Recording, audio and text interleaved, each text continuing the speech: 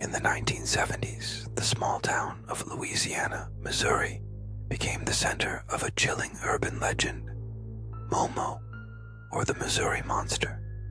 Eyewitnesses described Momo as a tall, hairy creature resembling Bigfoot, with glowing eyes and a foul odor.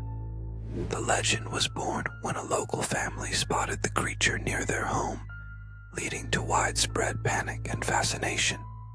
Reports of Momo sightings flooded in, with residents claiming to have encountered the beast while camping or hiking.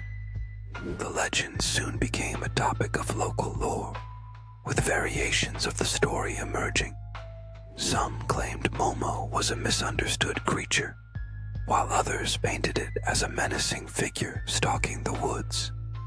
The legend grew in popularity, leading to news coverage and even a documentary exploring the sightings and the creature's history. Skeptics argued that Momo was merely a bear or a prank, but the legend persisted, becoming a symbol of local culture. Even today, Momo's legacy lives on, drawing curious visitors to Missouri in search of the truth behind the monster. The tale serves as a reminder of how folklore shape a community and endure through the years, inspiring both fear and intrigue.